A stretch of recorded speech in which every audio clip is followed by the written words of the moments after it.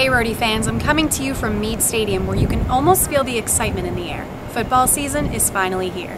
As the Rams wind down their training camp and prepare for their season opener, expectations are high for what promises to be an exciting season.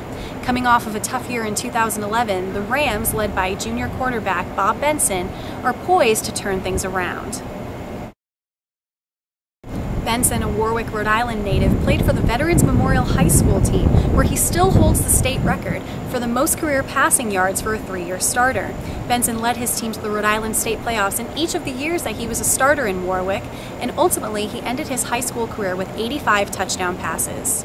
In 2011, as a backup quarterback, Bentsen stepped up for an injured Steve Probst in Game 6 of the season against Maine, where he completed 11 of 17 pass attempts for 158 yards, two touchdowns, and one interception in the 27-21 loss. He continued to impress throughout the year by winning two of his first three career starts with the Rams, solidifying his spot as a starting quarterback this year.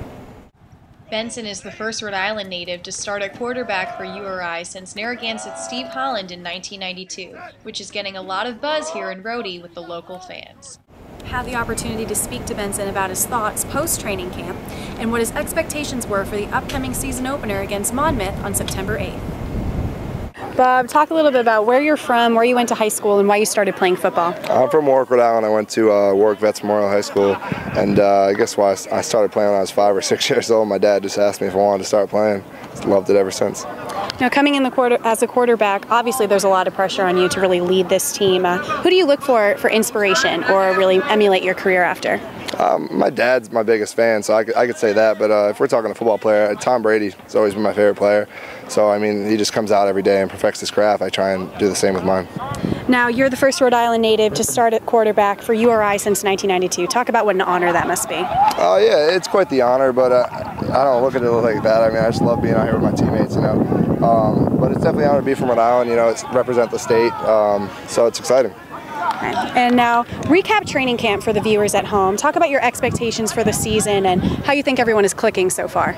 I think training camp's going well. We get a lot of guys coming out here and competing, and uh, a lot of guys love football here, so that's important. Um, you know, camp's going well though. A lot, a lot of good things coming out of it, bad things too. But you know, we're in our second week. We got a big scrimmage this weekend, and uh, we'll see how that goes.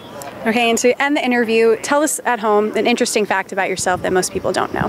Uh, I guess I could say I've, I've boxed my whole life. Most people wouldn't expect that.